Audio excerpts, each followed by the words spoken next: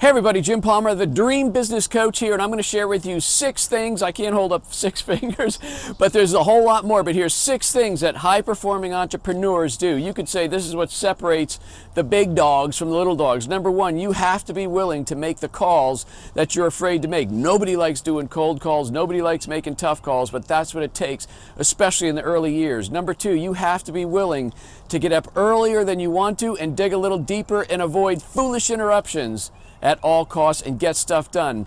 Number three, you must be willing to give more than you're going to get in return. That's especially up front, but that should be your motto. I think great friend Bob Burg from uh, co-author of The Go-Giver says that you must be willing to give more than you get in return. Number four, you have to care more about others than they care about you.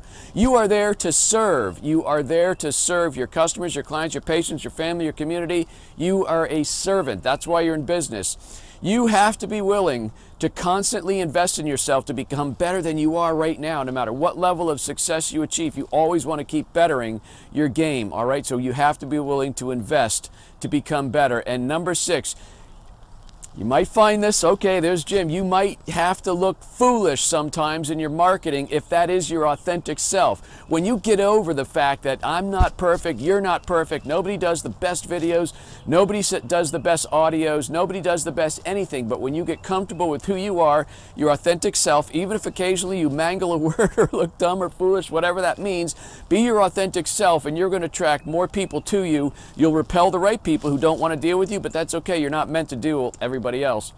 All right, my name is Jim Palmer. I am the Dream Business Coach. Getting ready for my next events coming up in San Diego. You can check that out at Dream Biz Academy, dreambizacademy.com. For now, you take good care.